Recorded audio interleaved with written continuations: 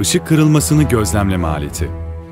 11. yüzyılın ikinci yarısında yaşamış olan ünlü Müslüman bilim adamı İbni Heysem, yazmış olduğu optik kitabı Kitab-el Menazir'in 7. bölümünde ışık kırılmasını gözlemlemek için bir deney aleti tarif etmiştir. Ayrıca kitabında ışığın giriş açısı, kırılma açısı ve sapma açısı arasındaki ilişkiyi incelemiştir. Işık kırılmasını gözlemleme aleti parçaları. Yuvarlak, oldukça sağlam bir bakır disk. Bakır diskin çevresinde 360 dereceye ve dakikalara bölümlenmiş ölçüm cetveli. Işığın içinde ilerlemesine yarayan, ortasında uzunlamasına boş bir delik bulunan bir çubuk ve nişangah. Cam su haznesi. Deney Hazırlanmış olan disk, merkez noktasına kadar cam su haznesine daldırılır. Cam hazneye, hazırlanmış olan disk, merkez noktasına kadar cam su haznesine daldırılır.